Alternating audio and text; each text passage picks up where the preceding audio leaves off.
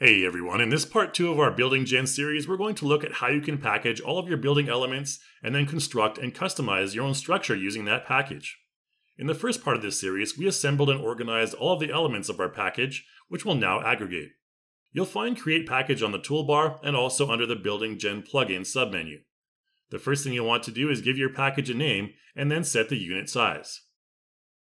In iClone, a single grid length represents 1 meter, and here you can see a 2x2 grid, which we'll use as our default for now, as that was the size of the floor tiles we saved earlier in part 1. We're just going to set a default style called New Style here next, and then proceed to add in our elements, starting from the base 2x2 tile from the ground folder.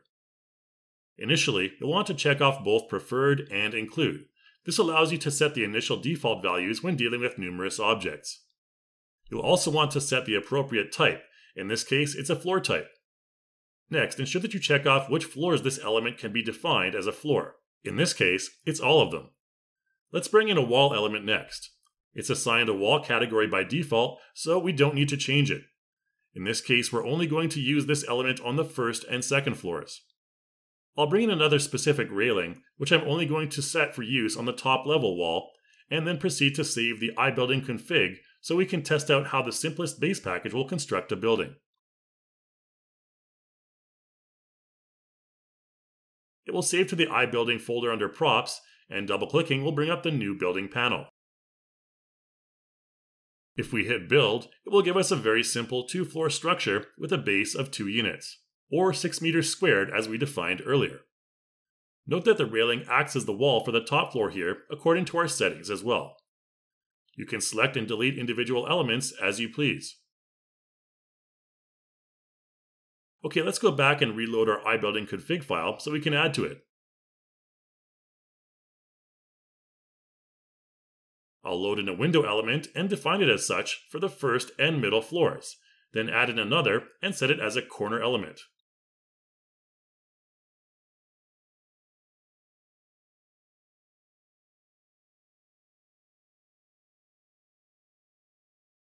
We can overwrite our previous save and load it up again. This time, I'll select a couple of window position presets, and you'll see them appear on the respective sides of the building when we select Build. In this case, we get an error as the top floor railing we set as a wall won't be compatible with the size and position of the windows we have. Let's continue by adding in some door elements, starting with the door frame, which we naturally want to define as a door for the first level. When we bring in the actual door itself, we need to ensure that we have door frame selected and then drag our door element down to the child element section instead, also defining this as a door. Now here we want to click on the position settings icon and then preview to see the two combined. You'll see that the door element itself needs to be repositioned.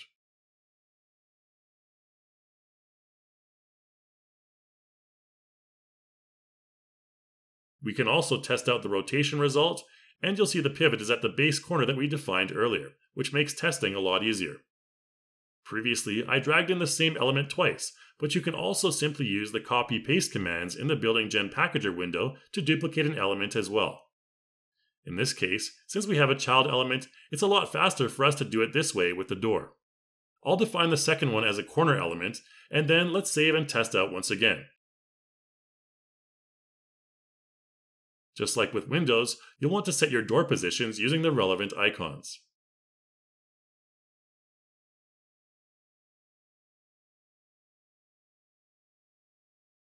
Once you've hit build, you can then test out the rotation of the door within its door frame. Finally, let's bring in a couple of pillars and define them as such. Naturally, we want the railing pillars to be set to the top floor where the railings will appear.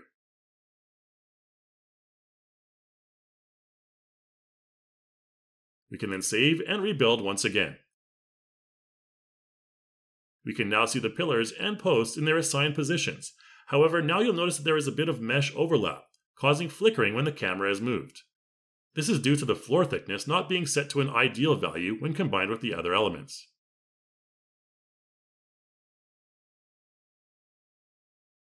To refine this, let's go back to our packager window and adjust the height value for all of our side elements, including walls, windows, and doors, to 280 from 250. Now when we do that and rebuild, you can see that the flickering issue is gone.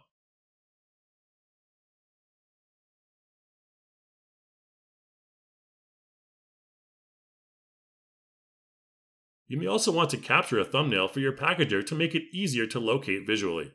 To do so, simply get a camera view you like, then right click on the iBuilding config file in the Content Manager and select it from there.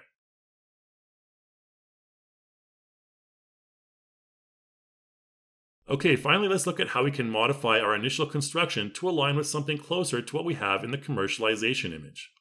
If you have something like an L-shaped building, you'll always want to start big, and then manually delete unwanted sections after the initial build has been generated. You can use the middle mouse button to directly select various subnodes within the building and delete them manually. You can also use box select as well. To add in vertical elements such as walls or windows to empty floor tiles, simply select your desired floor tile and click the type and orientation of the element you want from the Unit Settings section in the Building Gen window. You can select multiple floor tiles simultaneously and add vertical elements that way as well. You'll see a blue or pink gizmo that indicates the position the selected element will be placed at.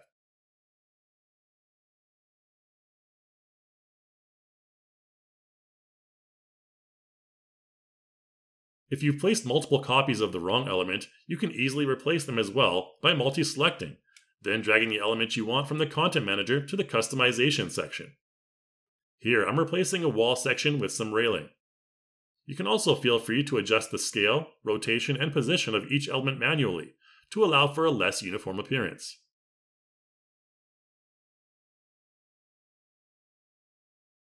Here I'm multi-selecting and scaling some wall sections to form a sort of balcony.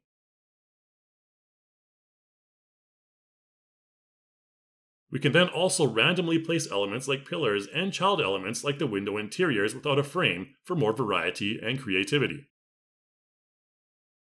Here, I'm dragging in this window protection grid to the second area on the right to assign it as a child element of our wall section.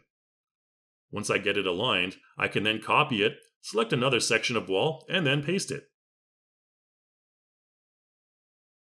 It's also very easy to adjust the material values of all of one element type simultaneously, as they are all linked.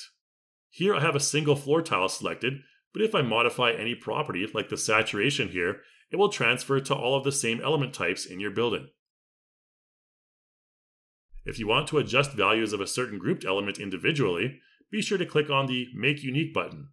This allows you to assign separate UV values for element meshes that you may have previously scaled differently.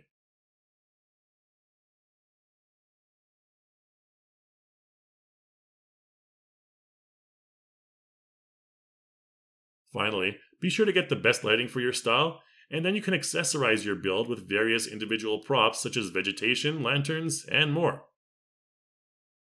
ActorCore groups are a great solution to quickly and easily populate your scene and bring it to life.